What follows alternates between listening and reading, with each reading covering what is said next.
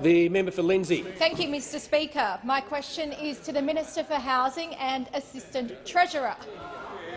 Will the minister please update the House on how the Morrison government is leading the housing market's recovery from the COVID-19 recession, including through its home builder grant and first home loan deposit scheme? Well done. The Minister for Housing and Assistant Treasurer. Well, can I thank you, Mr. Speaker? Can I thank the member for Lindsay for her question, and uh, I want to acknowledge uh, the wonderful knowledge that she brings to this chamber.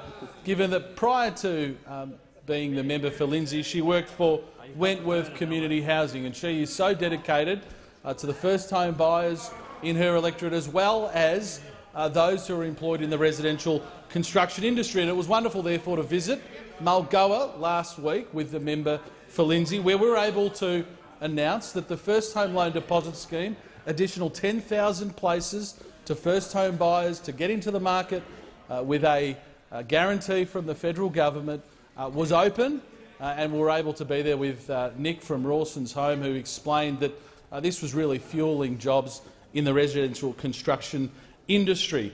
When we announced the first home loan deposit scheme extension, the managing director of the HIA actually said this policy ticks all the boxes.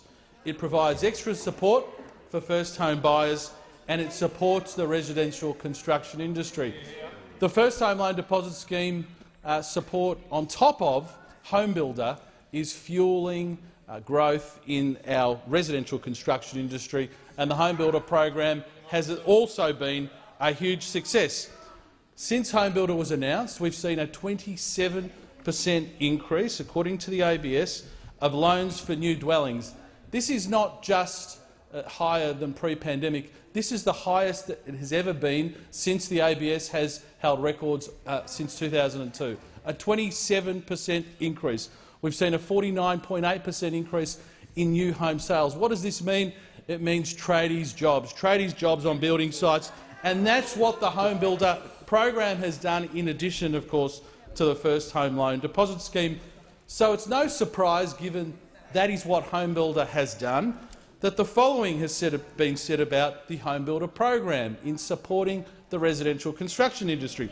The CEO of the Master Builders Association said, HomeBuilder is the most effective government stimulus that they have seen in decades in the industry. And the CEO of the Property Council said, HomeBuilder has been the pop star of government stimulus policies released to date.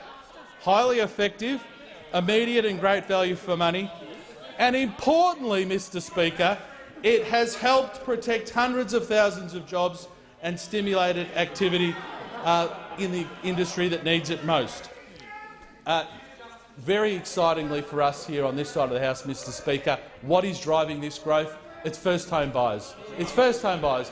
The CEO of CBA said yesterday the upswing in housing has so far been driven by first-home buyers and owner-occupiers. The Morrison government the stands with first-home buyers and the residential construction. And I call the member for